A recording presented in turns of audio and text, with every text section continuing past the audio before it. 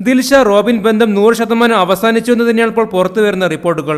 റോബിന്റെ അടുത്ത സുഹൃത്തും സഹോദരനുമായ ആരോൺ തന്നെ ഇതേക്കുറിച്ച് പറഞ്ഞ് ലൈവിലെത്തിയിരുന്നു. എന്നാൽ അത് അവസാനിക്കാൻ കാത്തിരുന്ന നിരവധി പേർ ഇന്ന് ദിൽഷക്കും റോബിനും ചുറ്റുമുണ്ട്. അക്കൂട്ടത്തിൽ ഒരാളാണ് ബ്ലസ്ലിയുടെ സഹോദരി. മുമ്പ് തന്നെ പലരും ഡീഗ്രേഡ് ചെയ്യുന്നെന്ന് പറഞ്ഞ് ലൈവിൽ കരഞ്ഞു വന്ന ബ്ലസ്ലിയുടെ സഹോദരിയാണ് ദിൽഷയെ ഡീഗ്രേഡ് ചെയ്തും റോബിനെ പട്ടിയോട് ഉപമിച്ചും സോഷ്യൽ മീഡിയയിൽ എത്തിയിരിക്കുന്നത് തന്നെ ഡീഗ്രേഡ് ചെയ്തപ്പോൾ കരഞ്ഞ് ലൈവിൽ വന്ന ആ ഒരു പെൺകുട്ടി തന്നെ ഇപ്പോൾ തന്നെ പോലെ മറ്റൊരു പെൺകുട്ടിയും അതേ രീതിയിൽ തന്നെ ഡീഗ്രേഡ് ചെയ്യാൻ വേണ്ടി വലിയൊരു സൈബർ അറ്റാക്കിംഗ് തന്നെ ഇപ്പോൾ സോഷ്യൽ മീഡിയയിലൂടെ തുടങ്ങിയിരിക്കുകയാണ്. എന്തൊരു വിരോധാഭാസം.